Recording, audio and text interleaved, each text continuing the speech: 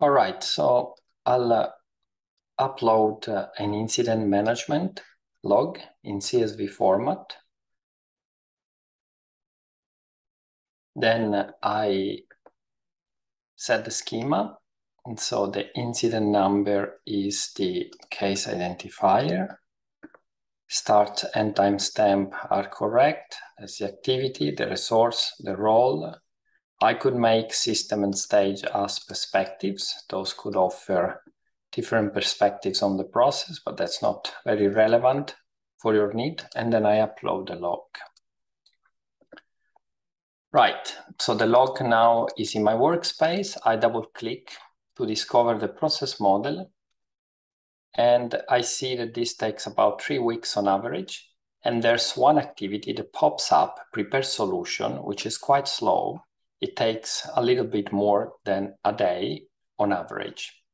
If I switch to a business calendar, so I've created a business calendar here with nine to five.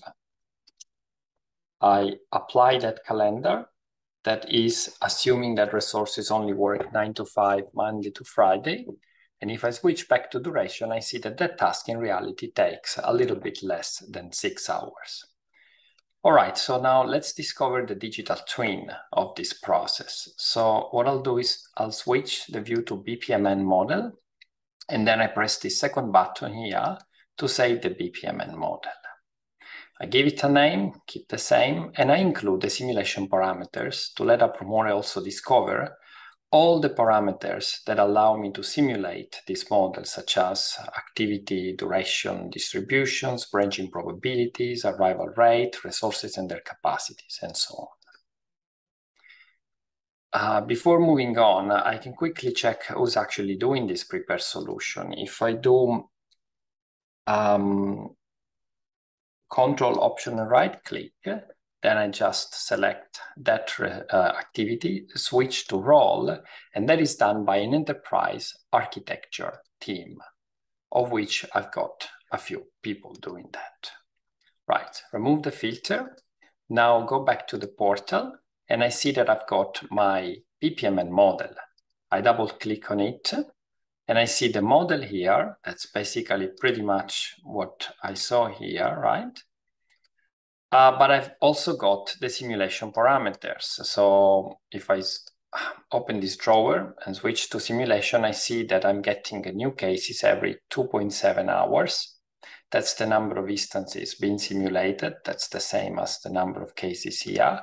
And then for each uh, activity, I have the resource that does it and its distribution of the duration with uh, the duration distribution with the parameters like exponential distribution 1.36 minutes on average for this activity complete incident.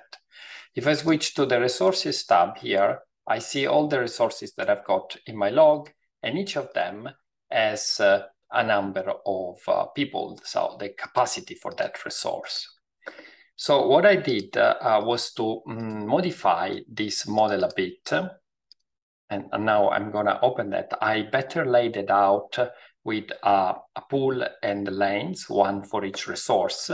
And when it goes to, uh, when it comes to the resources, I actually put the real capacity of these resources. So five, three, three, and so on. Because those that are automatically discovered in the other model are actually assuming that the resources all work on a full-time basis. So for example, if I have uh, uh, 14 resources in my log, 14 people with a role customer support, uh, that uh, doesn't necessarily mean that all these people work full-time on this process. So I just fine-tune this here. So now for customer support, for example, I have 10, and I'm basically ready to simulate this as-is. And then I can play around uh, with different interventions. For example, I can pick the slow task that we identified before and replace the human resource with um, a bot, simulate again, and see what is the expected impact on time, cost, and resource utilization. So I press this button here to trigger the simulation. Let me call uh, this uh, log. So Apromore generates a simulation log let me call it as-is, right?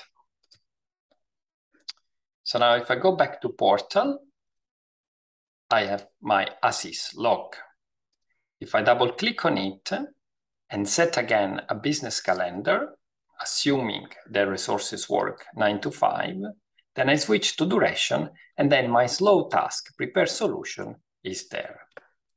All right, so now what I want to do is going back to the drawing board, my simulation model, I pick prepare solution, and this task is performed by an enterprise architecture team.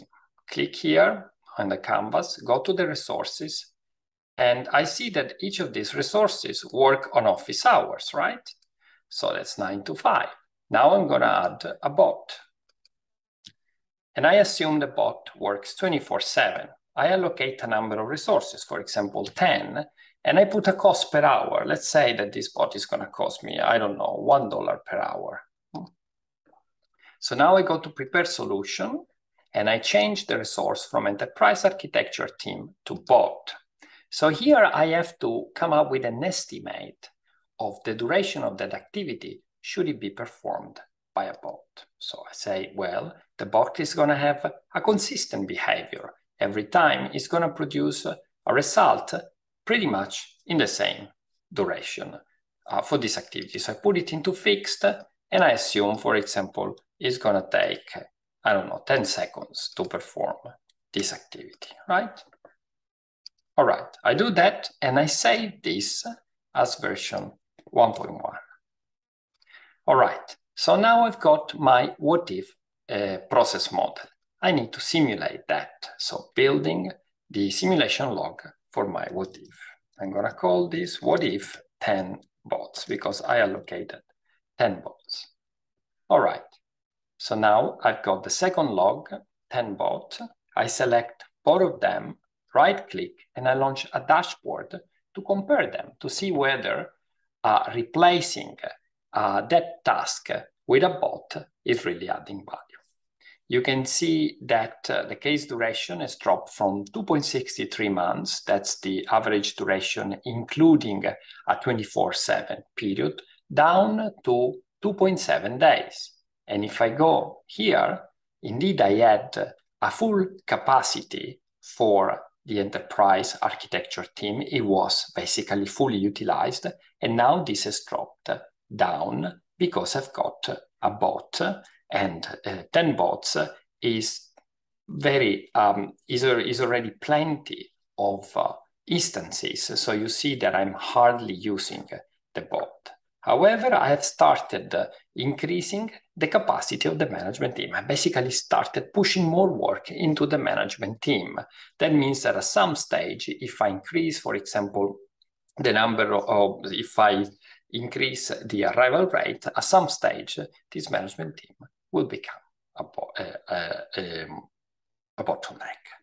So now if I go down to this list, I had this uh, prepare solution, an average duration of 1.25 weeks, uh, including a 24-7 uh, time period. And now that has dropped to basically the fixed 10 seconds. So what this is showing me is that 10 bots is definitely more than enough. So I could go back to the drawing board, uh, board and now replace the number of boats that I've got down here. Maybe from 10, I could try with 5.